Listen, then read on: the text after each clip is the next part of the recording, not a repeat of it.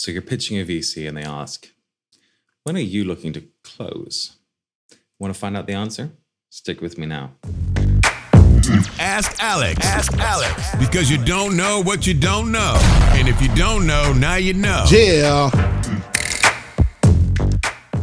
So what do they mean? If you have already started raising and investors know this, they will be will very much want to know where in the process you are.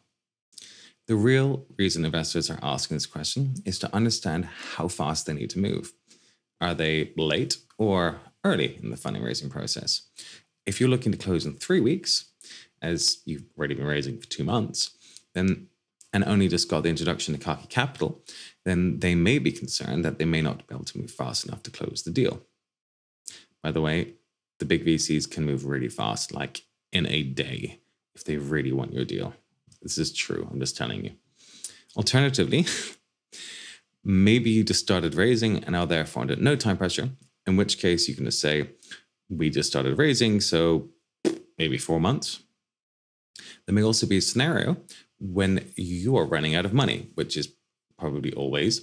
So closing this is a necessity, but it's best not to show desperation here, as you'll lose all the negotiating leverage that you have.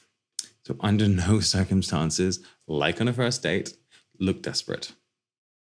You need to be reasonable about your deadlines, though.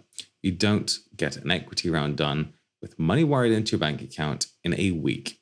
That just doesn't happen. Mm, it's maybe possible with a convertible note, though, but anyway.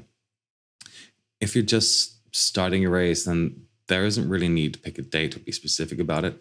It'll just take as long as it takes. So, say we just started raising just make sure you started raising early enough that you have enough runway not to be desperate.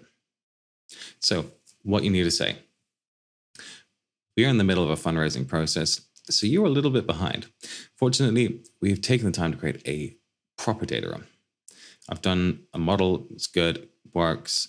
And I've got various other material that other investors have asked for us, so we would, in theory, be able to provide that to you too. This should help you get up to speed quite rapidly.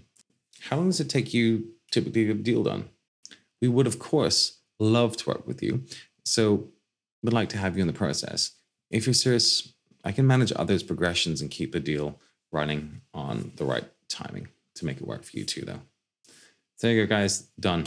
Head over to alexanderjarvis.com if you want some more great information.